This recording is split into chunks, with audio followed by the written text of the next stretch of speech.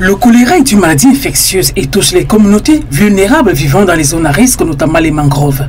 Pour mieux prévenir la maladie, deux doses de vaccins sont nécessaires pour une efficacité optimale. D'où l'importance du second tour de la campagne de vaccination qui va se dérouler jusqu'au 30 mars prochain dans les districts de santé de Bonastama, Nouvelle et Japoma.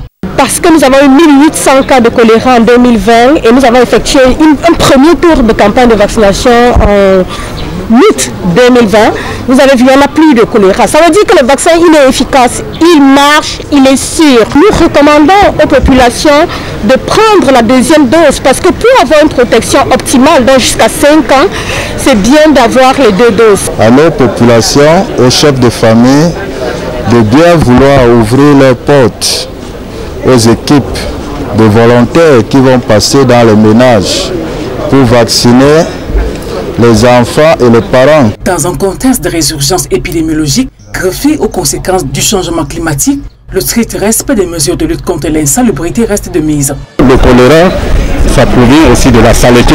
Nous devons nettoyer les alentours des maisons, être propre à l'intérieur de la maison. Parce que quand l'entourage est propre, est propre la, la, maison sera saine, les enfants seront euh, protégés.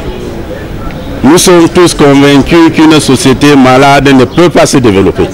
Donc nous devons faire tout et tout pour que les parents comprennent cela.